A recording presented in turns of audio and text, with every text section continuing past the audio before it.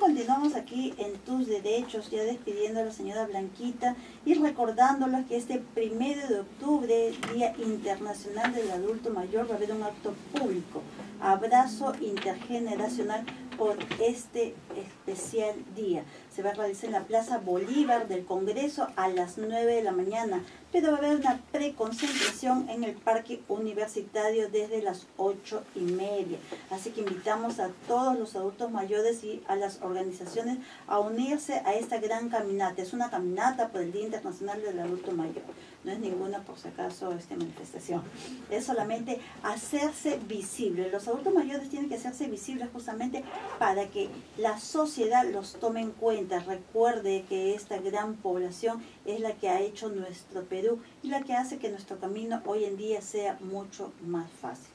Muchas gracias, señora Blanquita, por habernos acompañado. Ya sabe, este primero de octubre, la concentración en el Parque Universitario, de ahí iremos caminando hasta la Plaza Bolívar del Congreso de la República, donde va a haber una linda actuación, los adultos mayores manifestándose para que usted, amigo, tome conciencia sobre la población que crece cada día más.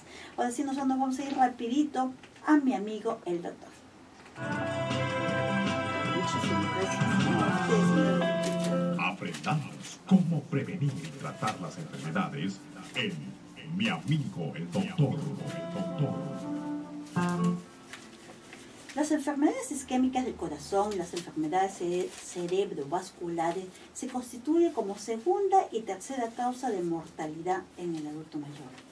El 40% de la población de 60 a 64 años y el 32% del grupo de 65 a 69 años aproximadamente no acceden a un tratamiento farmacológico.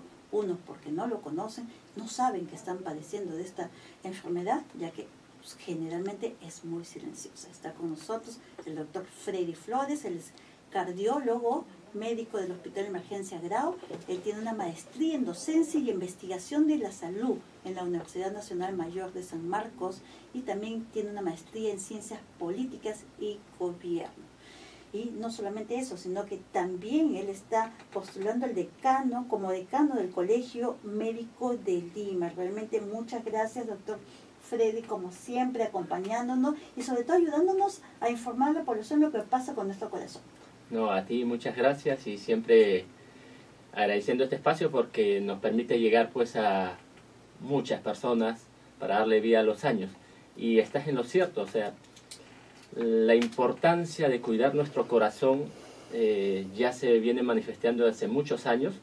La Organización Mundial de, la Salud, la Organización Panamericana, desde el 2000 es que establece un día especial precisamente para el corazón, el Día Mundial del Corazón en, este aspecto, este año no es ajeno, ¿no? y este 29, como todos los años, se celebra el Día Mundial del Corazón y generalmente los últimos domingos de septiembre es que se realizan casi todas las actividades fomentando el cuidado de un corazón sano. ¿Qué tan fácil o tan difícil es realmente cuidar nuestro corazón? Que es uno de los órganos, si bien cierto, todos son principales, pero sin corazón no tendríamos vida. yo creo que yo lo veo sinceramente bastante fácil. ¿Qué es lo que tenemos que hacer? Simplemente querer cuidarnos. Si uno desea cuidarse, si uno está llano a, a, vivir bien, ¿no? por el bien vivir, yo creo que avanzamos en la edad conjuntamente con nuestro corazón. Nuestro corazón también envejece y muchas veces lo hacemos envejecer más y por eso es que a veces falla. Uno está lúcido, uno está caminando en la vida, pero nuestro corazón empieza a fallar y esas fallas aparecen con enfermedades. Muchas veces sentimos pues que nuestros adultos mayores que acabas de mencionar no estamos estimulados para hacer mayor actividad, ¿no? Esta caminata, claro, esta caminata que se está promocionando definitivamente, ¿no? Definitivamente el 2000 se dijo ejercicio, actividad física para el corazón. Ahí se comenzó una serie de actividades y yo creo que eso no tiene que parar nunca para poder, yo lo llamo, rejuvenecer a nuestro corazón. Qué maravilla.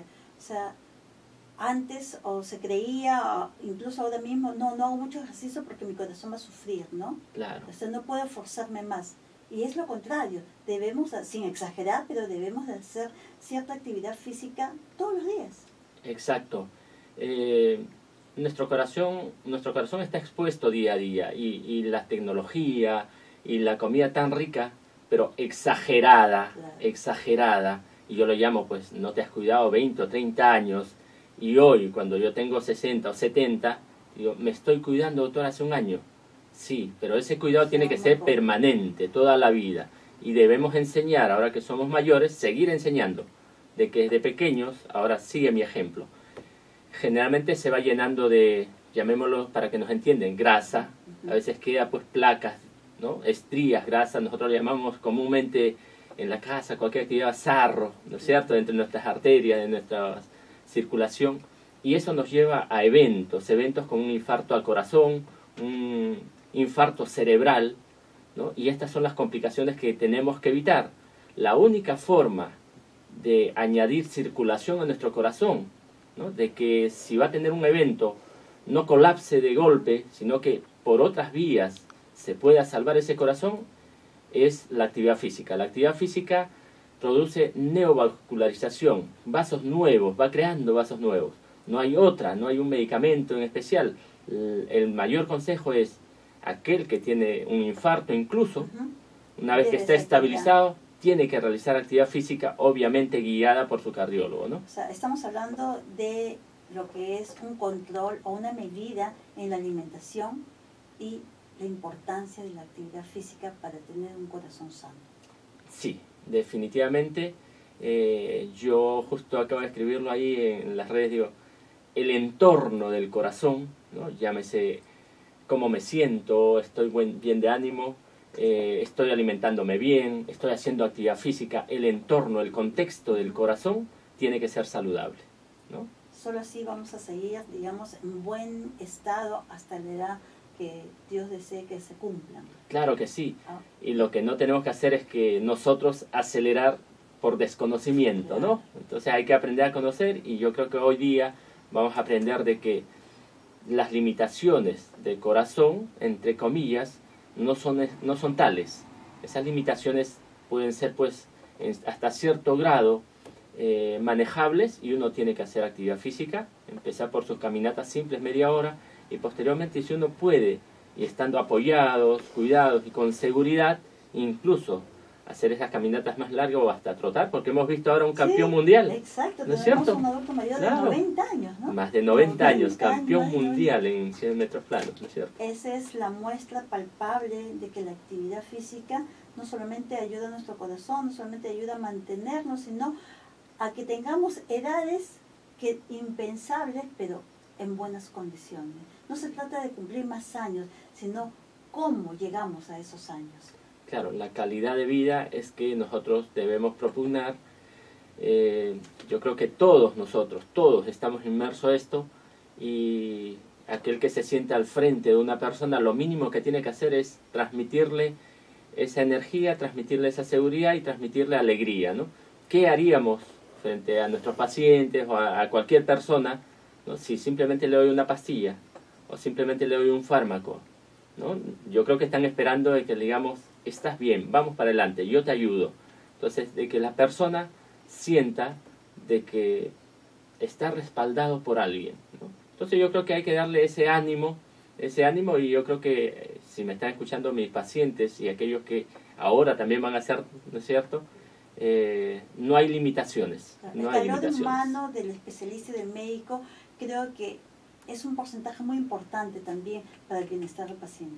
Claro, ese entorno yo le llamo, eh, a ver, cero estrés, ¿no? Cero estrés. ¿Por qué? Porque uno tiene que ser feliz y tampoco me va a bajar de peso sufriendo, ¿no es cierto? O sea, uno coma de todo, pero saludable, coma, pero aprendiendo a que tiene que limitar, ¿no? Y coma de que hay momentos en los cuales uno tiene que saber decir, ya no, ¿no es cierto?